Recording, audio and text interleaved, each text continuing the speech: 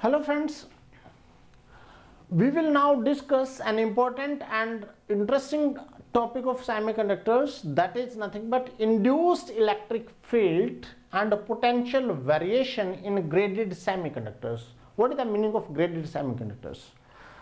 The graded semiconductors are those semiconductors in which the concentration is varying across the length of the semiconductor in any direction. So I am assuming a p-type semiconductor bar here and we are assuming that concentration is increasing continuously in this direction.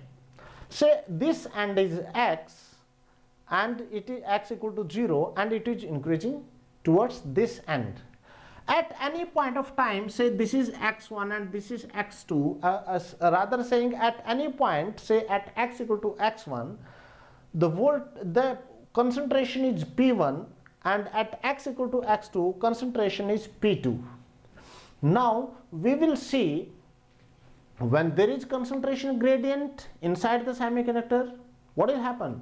The charge carriers will try to flow from higher concentration level to lower concentration level. But this will happen when charge carriers are free. But in this case, when it is graded semiconductor, the concentration is not constant, it is varying with the distance. So that diffusion current, because of the flow of charge carriers from higher concentration to lower concentration, is counterbalanced by the drift current. Why? because it is open-ended semiconductor so to oppose the diffusion current net current inside the semiconductor bar is zero but we have just seen we have discussed in earlier topic that there is flow of charge carriers from higher concentration level to lower concentration level. So logically there should be flow of charge carriers from this level to this level because this is at higher concentration this is at lower concentration. But bar is open circuited. If bar is open circuited there is no closed path so in that case what will happen? This current which is because of flow of charge carriers from this side to this side will be counterbalanced by an induced field.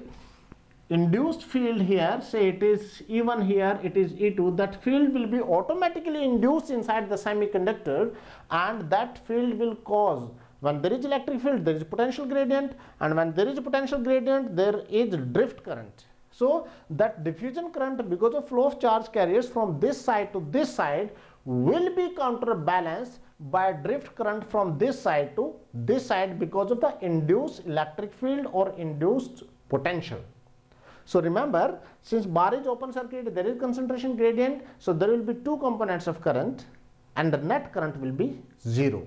So here the total current inside the semiconductor bar Jp will be equal to q mu p multiplied by p electric field E is minus q dp dp by dx. That will be the total current inside the semiconductor bar and that is equal to 0 remember this.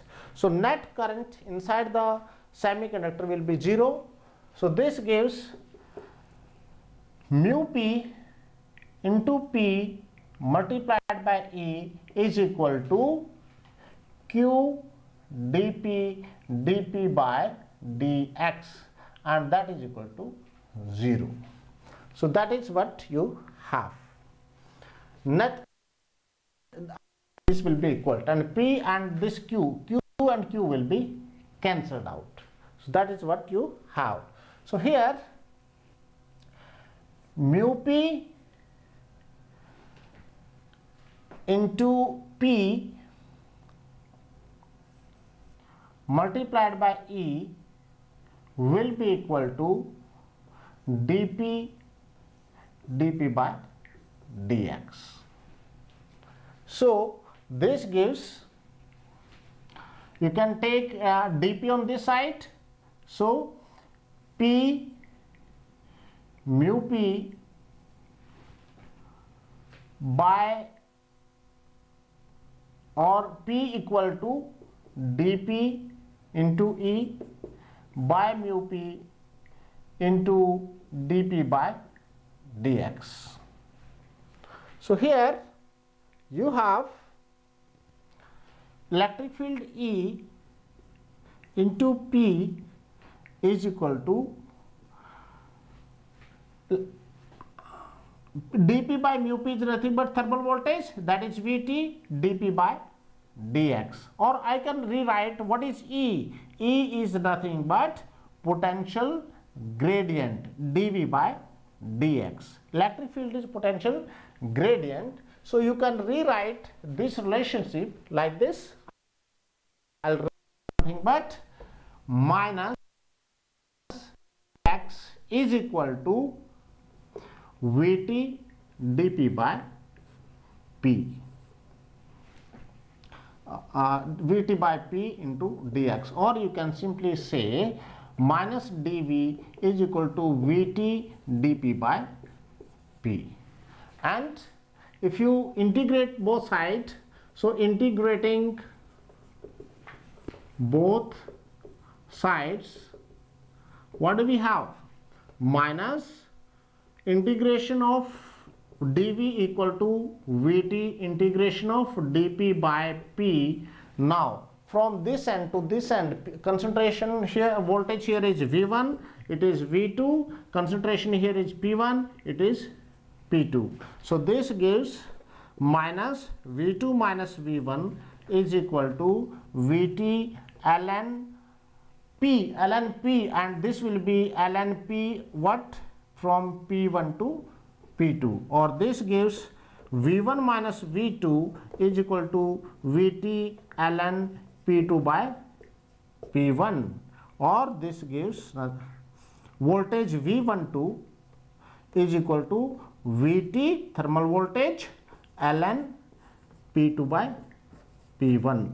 So this is important expression. You may have to find that type of variation in the exam. Here the variation please see this from this equation. Say this is equation 1 so from equation 1 what do we get? This is the potential variation and from equation 1 you get electric field induced. Electric field is nothing but Vt upon P multiplied by dP by dx. So this is induced electric is important. So you get induced electric field, you get induced voltage. So these are important expressions. There can be numerical in GATE or there can be question in engineering services prelims. There can be conventional question in IES mains. So now it has got very important application. This topic has an application. That application is what? What is that application? Application is basically variation in potential in step graded junction. What is the meaning of step graded junction? Now let us consider that is one of the application. Say you have the graded junction that is graded semiconductor, step graded semiconductor.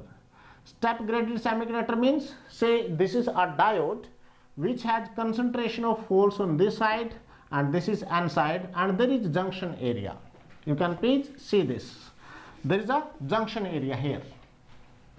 So if you see the variation in concentration gradient here, on this side we have one level of on P side concentration of holes is high. Why? Because holes are majority carriers. So I'll say concentration of holes on P side is PP concentration of holes on p side is pp and this is approximately equal to the acceptor concentration if you remember.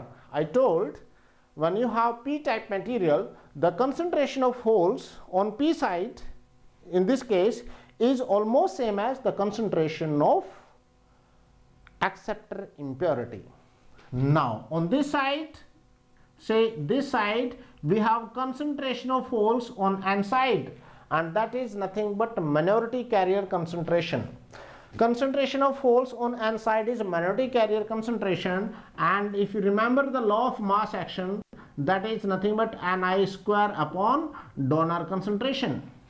So i repeat concentration of holes on p side of this is this is a step graded junction. What is the meaning of step graded junction? The concentration is suddenly changing from higher level to lower level. That is known as step graded So in case of step graded junction, the concentration level is having abrupt change from PP to PN.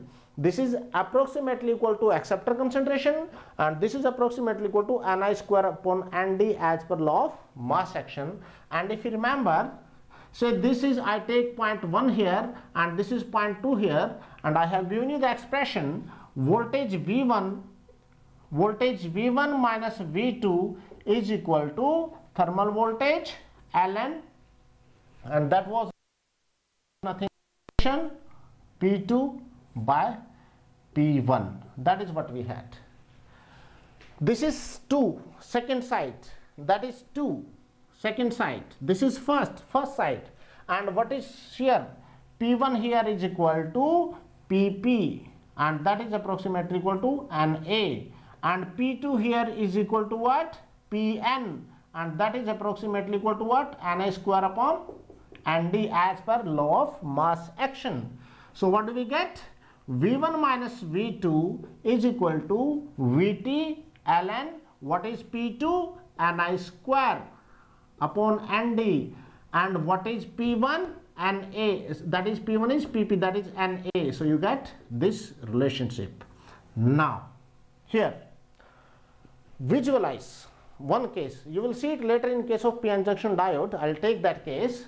When you have the junction formation here so what will happen? The electrons from this side will jump to this side.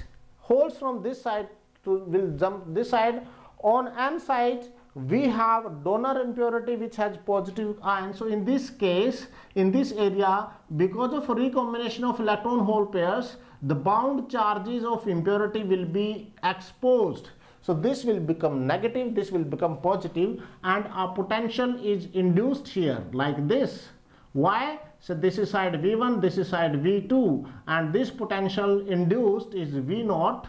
So potential this potential is known as that is potential barrier and potential barrier across potential barrier across step graded junction that is step graded junction is given by what is V naught that is V2 minus V1. So if you see here that will be equal to V naught equal to minus you can see this this is v1 minus v2 but your step uh, in uh, your uh, potential barrier is v2 minus v1 so that will be equal to minus vt ln ni square upon na into nd and you can rewrite you can simplify this equation. The potential barrier in step graded junction is equal to vt ln and a and d by an i square. So this expression is very very important. You have lot of questions in GATE, lot of questions in engineering services prelims and there can be question in engineering services mains and civil services mains. So this is how we derive the expression of potential variation across the step graded junction and that is nothing but potential barrier. So in step graded junction you can find the electric field induced you can find the potential variation like this. So that is how we drive and of course after this let us numerical part that is, that is numericals based on this concept. Thank you.